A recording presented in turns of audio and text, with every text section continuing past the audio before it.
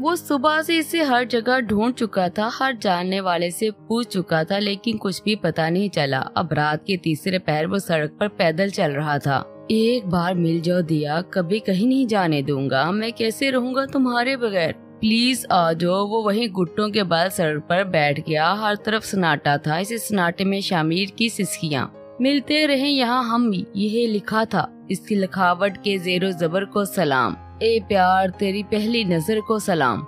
फजर घर आई तो बिना किसी की तरफ़ देखे कमरे में बंद हो गए जब इसकी मम्मा दरवाज़ा बजाती रही, लेकिन इसने नहीं खोला। वो पहले कितनी हंसमुख थी और यहाँ आकर वो बिल्कुल खामोश हो गई थी। पहले तो वो समझी कि वो उदास है, लेकिन अभी तक इसमें कोई बदलाव नहीं आया था, बल्कि वो बस कमरे तक महदूद हो गई थी। या बस दिया से मिलने जाती थी। और वापस आकर ऐसे ही बंद हो जाती थी। रजा के साथ गुजरा एक एक लम्हा इसके आखिरी अल्फाज। सबकी आँखों के सामने घूम रहे थे, लेकिन इसकी आँखें और दिल बिल्कुल खामोश था। इन मस्त गहरी गहरी आँखों की झील में जिसने हमें डुबोया इस भवर को सलाम। घूंघट को छोड़कर जो सर से सिरक गई, ऐसी नगोरी धानी चीज़ को सलाम। ए प्यार, तेरी पहली नज़र को सलाम। माहिर को दस दिन हो गए थे, पाकिस्तान आए हुए। इन दस दिनों में इसने मीना को हर जगह ढूंढा। आखिरकार वो इसमें कामयाब भी हो गया। और अब वो इस्लामाबाद में इसके फ्लैट के सामने खड़ा था। अब इसने डोर बेल पर हाथ रखा, ही ताकि दरवाज़ा खुला। इकबाल साहब उनकी बेगम कहीं बाहर जा रहे थे। माहिर को देखकर चौंके, बेटा, आप? अस्सलाम वालेकुम अंकल आंटी। वालेकुम सलाम। अंदर आओ, बेटा। वो इसे लिए ड्राइंग रूम में ले गए। माहिर की मतलाशी निगाहों ने इर्द मीना को तलाशा लेकिन वो कहीं नज़र नहीं आई। अंकल, मैं वजह पूछ सकता हूँ कि आप लोग ऐसे अचानक क्यों गायब हुए? माहिर ने बैठते पहले सवाल यही पूछा, जिसकी वजह से वो उलझन में था। बेटा, हमें खुद कुछ समझ नहीं आ रहा। क्या मतलब अंकल माहिर इनकी बात पर चौंका। हमें तुम्हारे वालदेन की वफात का पता चला। बहुत अफसोस हुआ बेटा। लेकिन आप तो जानते हो, हम इस वक्त मुल्क से बाहर थे। फ़ोन पर रब्ता करने की कोशिश की तो हो नहीं सका। वहाँ तो हम कुछ दिन के लिए गए थे, लेकिन दो महीने लग गए। वापस आकर हम लोग गए थे, लेकिन आप लोग वहाँ नहीं थे। मिन्हा भी कोई बात नहीं करती थी। हमने कई बार बात करने की कोशिश की, लेकिन इसने कहा कि वो शादी नहीं करना चाहती। अकबाल साहब की बात पर माहिर ने हैरत से इन्हें देखा कि क्या मतलब अंकल, वो ऐसा क्यों चाहती है? बेटा, बुआ ने बताया था कि एक्सीडेंट वाले दिन वो आपके कॉल पर मिलने गई थी। फिर एक महीने बाद घर आई। कब आई, ये तक नहीं पता इन्हें। हमें लगा कि आपसे कोई लड़ाई हुई होगी। हमारे आने से पहले इसने कॉल पर घर बदलने का बोला। और जब हम आए तो इसकी जिद यहाँ पर हमें आना पड़ा। हमने इसके मना करने के बावजूद इसे बताए बगैर। आप लोगों के वहाँ कई बार गए, लेकिन वहाँ कोई नहीं था, जैसे जैसे इकबाल साहब बोलते जा रहे थे। वैसे वैसे माहिर को लग रहा था इसका सांस बंद हो जाएगा, वो सोचना भी नहीं चाहता था कि इसका ख्वाब कुछ ऐसे पूरा हुआ होगा।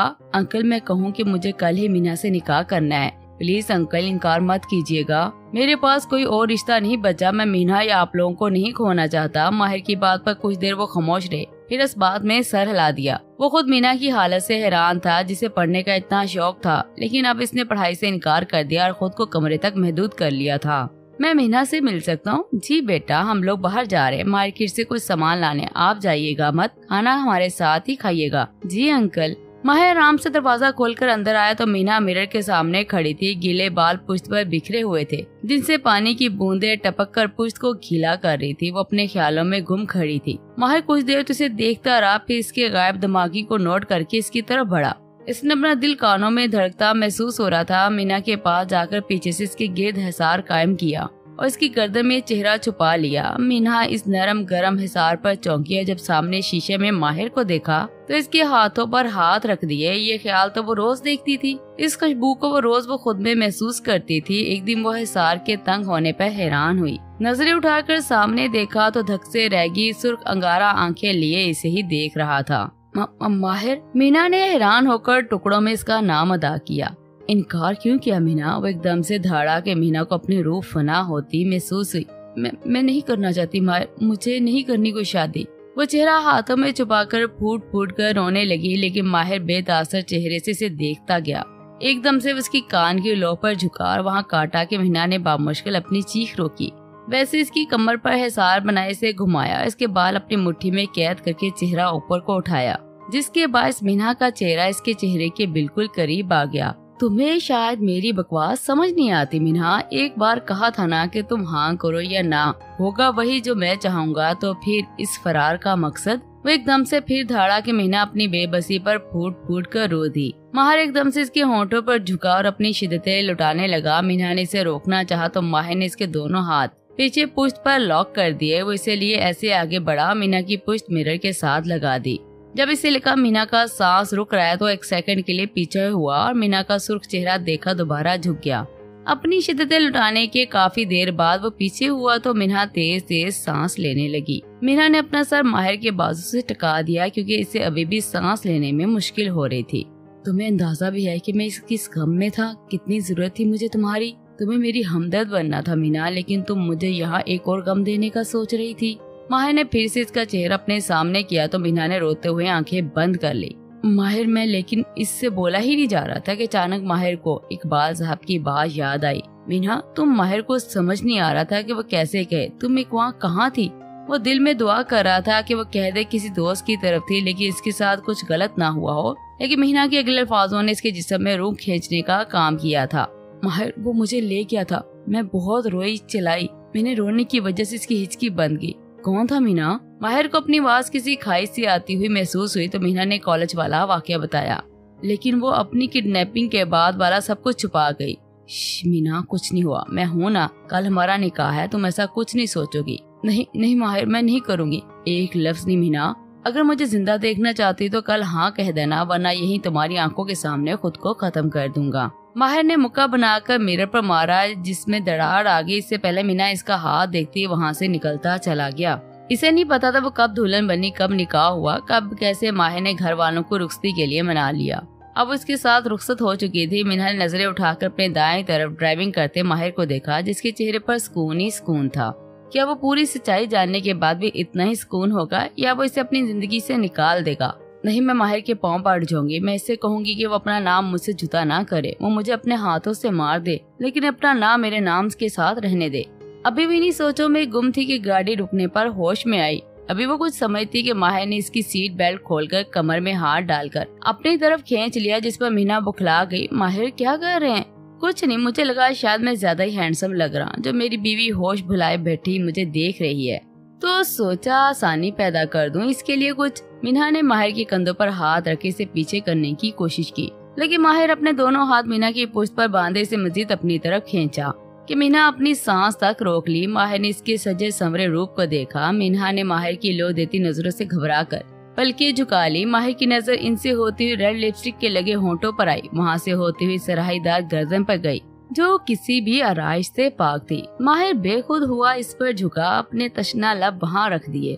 मीना ने माहिर के गरम नरम लम्स पर घबरा कर इसे पीछे करना चाहा, लेकिन इसकी शिद्दतों में इजाफा होता गया।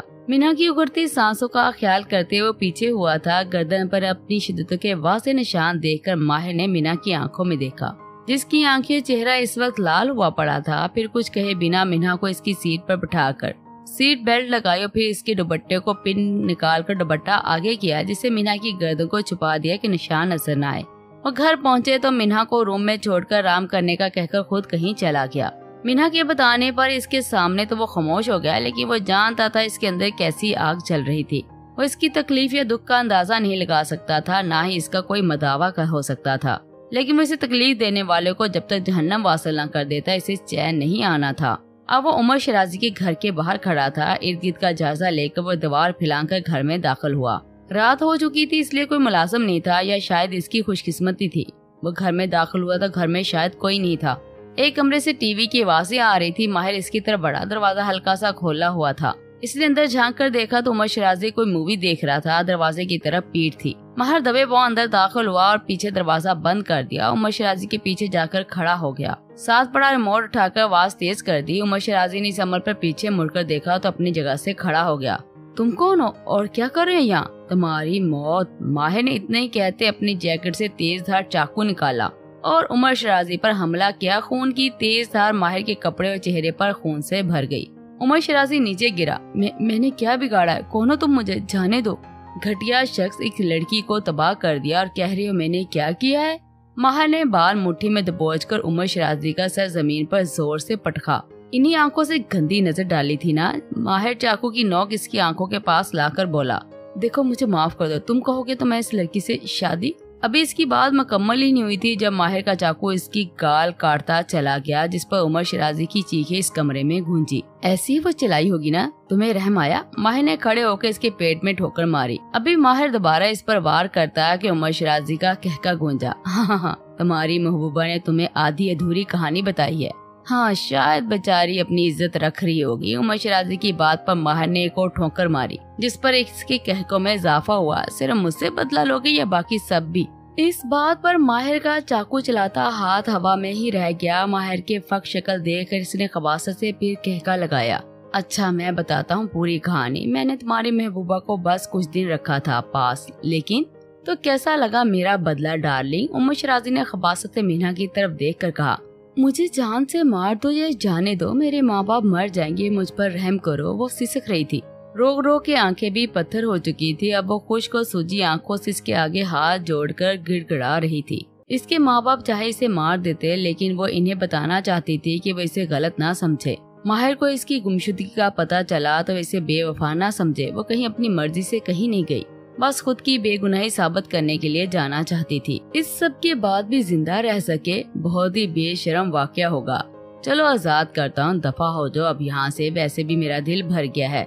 अभी उमर शराजी बाहर जाता कि बाहर से बातों की आवाज़ आई। ओ शिट पापा। मिना ने उमर शराजी के पापा के कहने पर हैरानगी से देखा, दिल में उम्मीद जागी क्या वो इसकी मदद कर सकते थे। अभी उमर शराजी कोई बहाना सोचता कि दरवाज़ा खोलकर अंदर आया, वहाँ अपने बेटे के साथ मीना को देखा।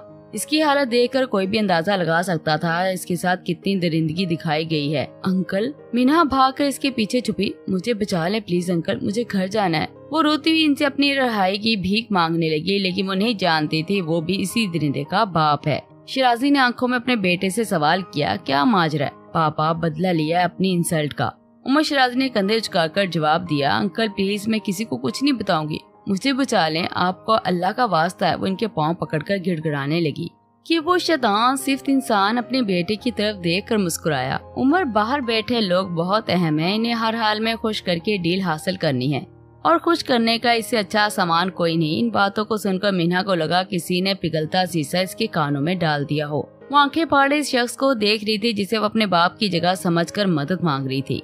वो नहीं जानती थी कि वो मर क्यों नहीं रही, लेकिन इसे अंदाज़ा हो रहा था मर जाती तो शायद हर अजियत खत्म हो जाती। मौत तो शायद अजियतों से निजात का नाम है, ज़िंदगी मुश्किल थी जिसे जीनी थी। इससे पहले नहीं सोचा था, वो इसे सोचने लगी वह हराम मौत नहीं मरना चाहती थी। लेकिन इसके बाद जीना भी नहीं चाहती थी, इसलिए कई बार वहाँ खुदकशी की कोशिश की, जिस पर वो नाकाम हुई। इनके तशद का निशाना बनी, अब इससे मरने से भी खौफ आता था। अगर मर गई तो इसके साथ और जुल्म करेंगे। तकलीफ़ में वो था, लेकिन क्यामत तो इस पर भी टूटी थी। इसने कोई शिकवा तक नहीं किया था। इससे सबसे ज़्यादा इसे ज़रूरत थी।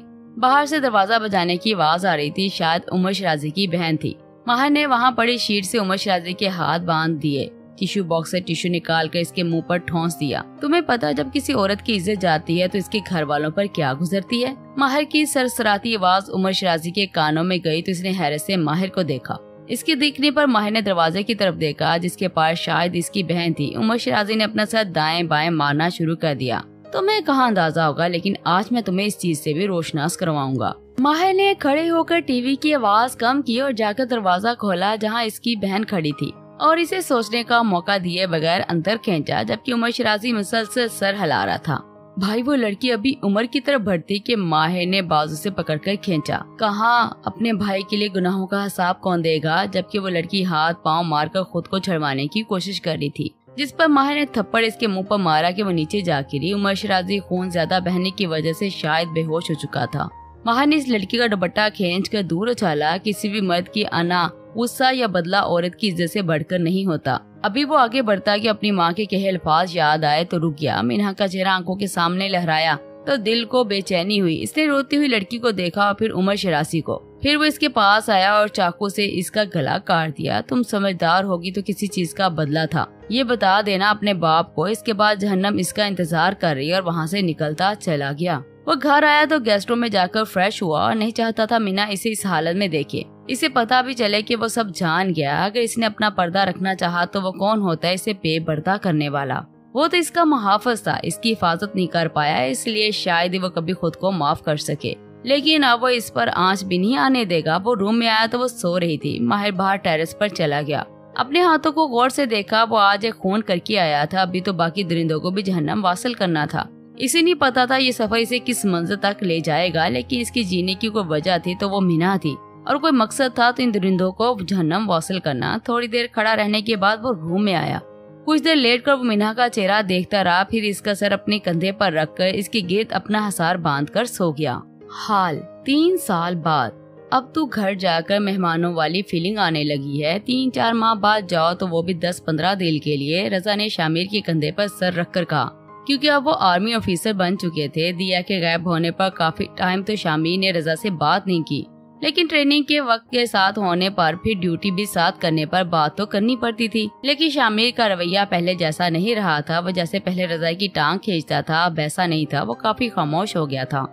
सब इसे जलाद कहते थे, वो काफ़ी बेरहम हो गया था। रजा इसकी बेरहमी मुजरमों के साथ देख कर रूह तक काम जाता था। ड्यूटी के दरमियान रजा काफ़ी जख्मी हो गया था। तब शामिर का रवैया पहले जैसा हुआ था, लेकिन सिर्फ़ रजा के साथ। इसके ठीक होने पर फिर से वैसा ही सर्द रवैया हो गया था, लेकिन अब वो रजा से खुलकर बात कर लेता था। क्योंकि मोहब्बत इसने भी खोई थी तो रजा ने भी खोई थी। वो तो अपना गुस्सा, नाराज़गी दिखा रहा था, लेकिन रजा तो अपना दर्द छुपाए, बस इसे मना रहा था। शामिर को अपना आप खुद गर्ज लगने लगा। वो जिस दिन इसने रजा से कहा कि वो इससे नाराज़ नहीं, किस्मत में यही लिखा था। तब रजा शामिर के गले लगकर इतना रोया कि शामिर से संभालना मुश्किल हो गया। वो कितना टूटा हुआ था। शामिर को इस दिन अंदाज़ा हुआ, आज वो दोनों घर छुट्टी पर जा रहे थे तो रजा शामिर कंधे पर सर रखे बातें कर रहा था।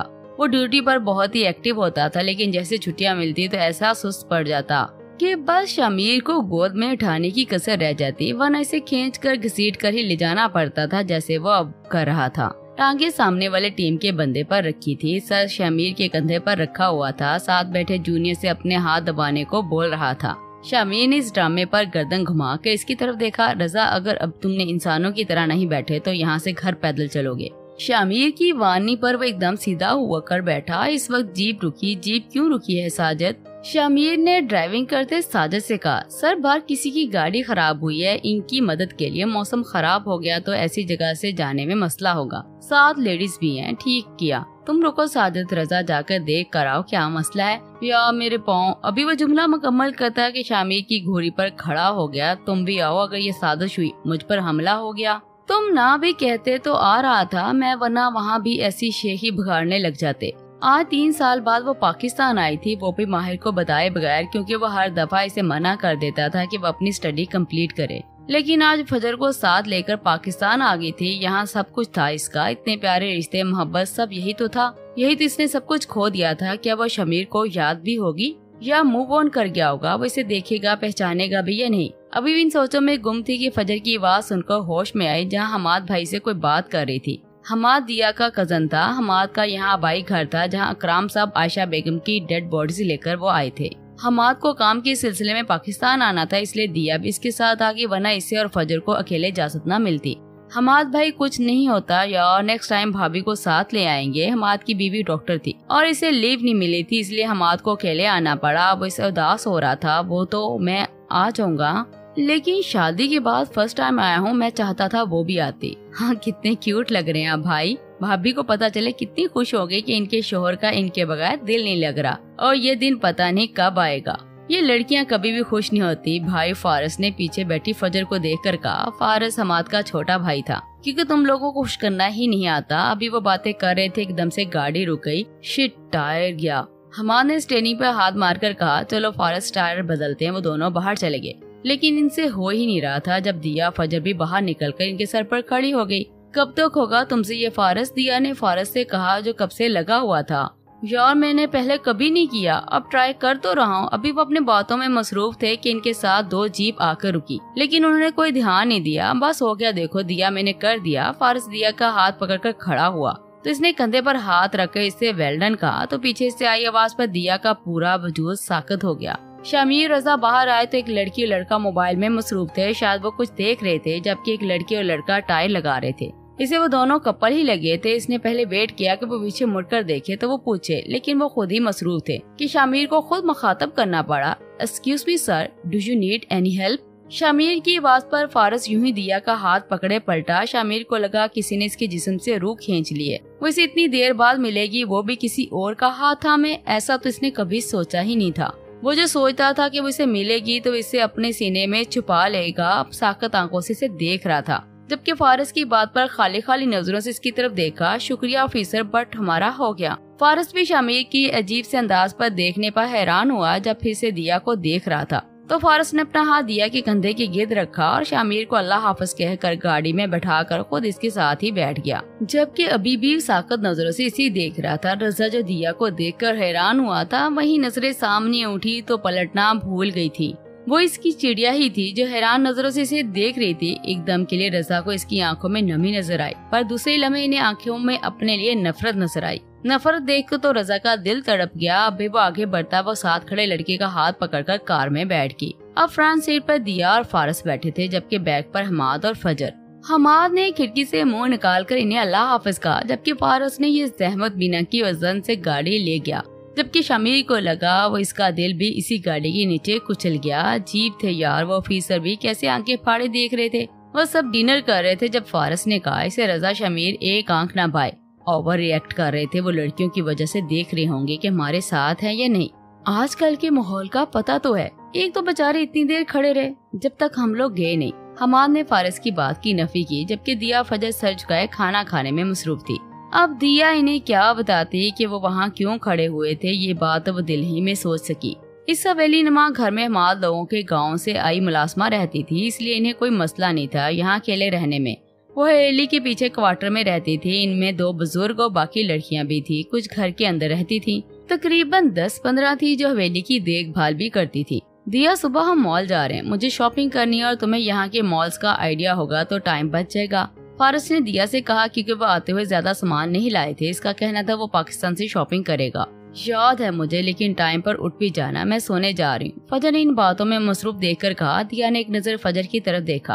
वो उसके चेहरे पर कुछ खोजना चाह रही थी, लेकिन वो बिल्कुल बेतासर था। मैं भी सोने जा रही हूँ, सुबह जल्दी उठ जाना, दिया ने फारस से कहकर फजर के पीछे रूम में चले गई। शामी रात सोने के लिए लेटा तो बार बार दिया और फारस का चेहरा सामने आ जाता। दिया की आँखों में अपने लिए खालीपन देख कर इसका दिल पर क्या गुजरी थी, सिर्फ़ वही जानता था। वो जो कहता था, अगर कोई इसकी तरफ़ देखेगा भी तो इसको जहन्नम वासल कर देगा और दिया को कैद कर लेगा। आज फिर हमेशा की तरह कुछ नहीं कर पाया, इन्हीं बेबसी पर वो रह रहकर गुस्सा आ रहा था। अगर फजर ने तुम्हें कुछ बताया था, तुम्हें मुझ पर शक था, गिला था तो पूछती एक बार, तुम्हारी जिताई क्यों नाराज़गी और सजा के तौर पर कबूल कर लेता मैं? तुम आती तो अपनी सांसों में बसा कर रख लेता, कभी दूर न जाने देता। लेकिन इस बेवफाई